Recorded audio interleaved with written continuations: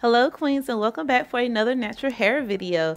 Today I'm doing my first ever Bantu knot set on my type 3C4A natural hair. The products I use are from the Cream of Nature Coconut Milk for Natural Hair collection. I use the Moisture Curl Hair Milk in conjunction with the Shine and Hold Control Glue. So if you guys are interested to see how I achieved this cute style for the very first time again on my natural hair, definitely make sure that you continue watching as well as that you are subscribed down below and that your notification bell is turned on so you can be notified when I upload future content here on my channel. Okay, queens?